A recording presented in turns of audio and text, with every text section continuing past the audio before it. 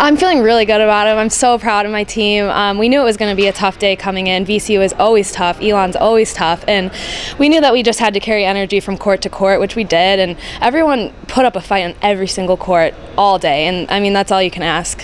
Um, I feel awesome. Um, these double headers are so tough. It's so hard to play a hard match and then come back in the afternoon.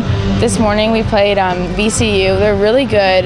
We have a history with them and we were able to pull it out against them and then come out in this afternoon and play well. So I'm excited. I feel good about it. I mean, it it helps when I'm next to Louisa and have Karen on the other side of me doing well and cheering me on the whole time and fighting for every single point. It definitely gives me the energy to do the same and, um, you know, pulled it up. So I played Olga in the fall and it was a close match. So I was a little nervous coming in.